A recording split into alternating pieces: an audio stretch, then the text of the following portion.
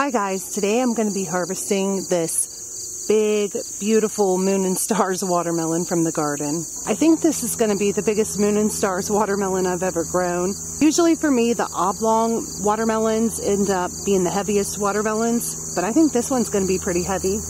This is a Klondike Blue Ribbon over here that has actually only been growing for maybe two and a half weeks. It's grown quite a bit since the flower was first pollinated. It's starting a little bit late in the season. Sometimes the watermelons that start growing later in the season will make it for me to maturity and other times the frost gets them before I can harvest them. I think this one's going to make it, but we'll see what happens. I post one or two videos every year talking about how you harvest a ripe watermelon from your garden. I'll put a link to one or two of those videos down in the description and I'll also try to put a couple of them up on the screen so you can click on those if you need to know how to harvest your watermelons. So let's just pull this off of here. There's a Klondike striped blue ribbon hiding just right there below the zinnias. I've been watching it, it's ready too, so we'll go ahead and grab that one.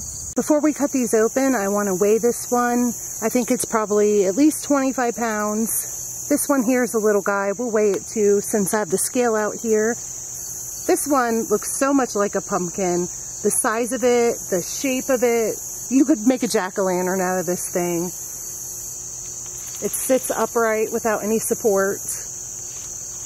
This is a really big round watermelon, at least for me.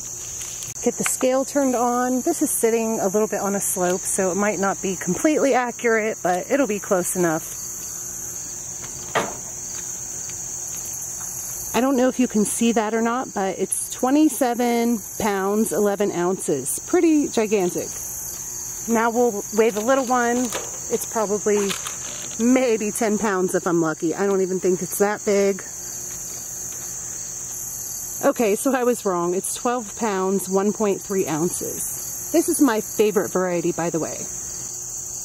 Um, let's do this one first. I should have probably brought out a second pan, but we'll see what we can do with just this one pan. All right, I'm just gonna see if I can cut a piece out of this. It might split open. I might not be able to do that.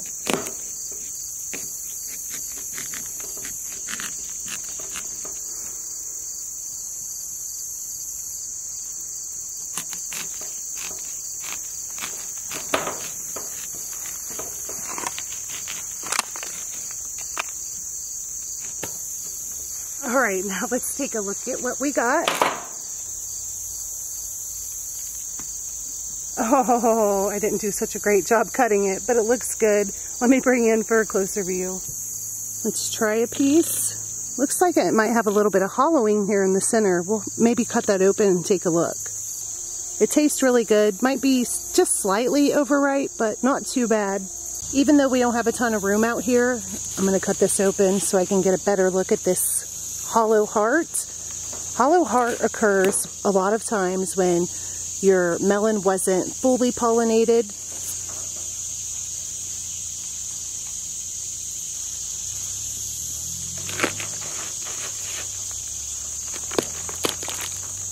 Just be patient with me here for a second. And here we go. Oh, it's not too bad. I thought it had a hollow heart, but it I don't really think it does. It's just the way I cut it, I guess. All right. So let's cut open the next one.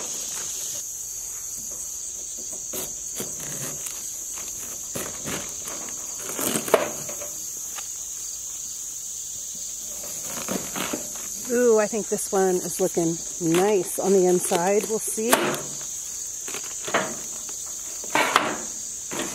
And there we go. This one does have a little hollow spot in it. Look at that. It looks really good though. Tastes really good. This variety is so good. I don't think I have found a better one. Congo is pretty good too. But I don't think anything beats this one. Try this one again because I did taste a soft spot in that first bite that I had. Yeah, it's just slightly overripe right here in the center, but all of this is fine. I would still even eat this. It's not bad at all. That's going to be it for this video. Thank you guys so much for watching, and I'll talk to you next time. Bye.